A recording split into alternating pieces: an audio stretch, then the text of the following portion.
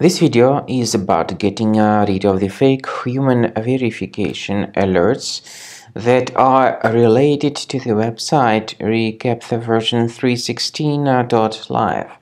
Recaptcha version 316.live is a dangerous site that may attack Google Chrome and other browsers. It tries to make you um, click on allow supposedly to help you verify that you are not a robot. But to click on allow is obviously a very serious mistake which may hijack the browser with a lot of intrusive ads. To fix your browser, access the menu, go to settings, select privacy and security, go down to site settings and then in permissions choose notifications. So remove the junk sites in case you find them on the list.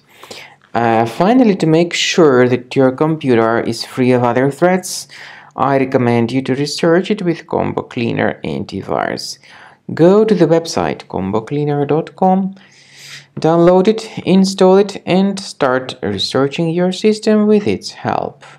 After you have successfully downloaded and installed Combo Cleaner Antivirus, uh, the program is initially in the trial mode so only quick scan option is available uh, by the way I forgot to mention that combo cleaner is uh, available for Windows computers for Mac computers and uh, for um, Android devices too this information is uh, clearly seen on the official website uh, which is uh, combocleaner.com.